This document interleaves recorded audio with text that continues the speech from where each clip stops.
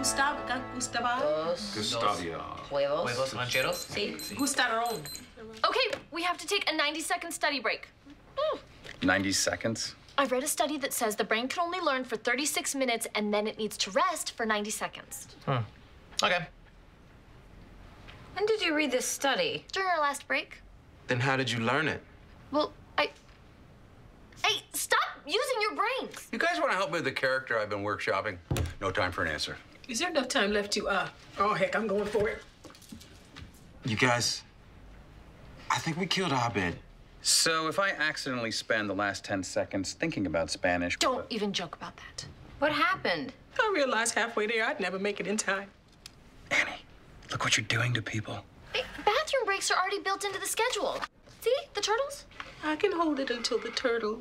My name's James, James British. I like my martinis stirred and shaken. Yes, Penny Penny, Miss Penny Penny, yes. Austin Powers? Who? Three, two, one.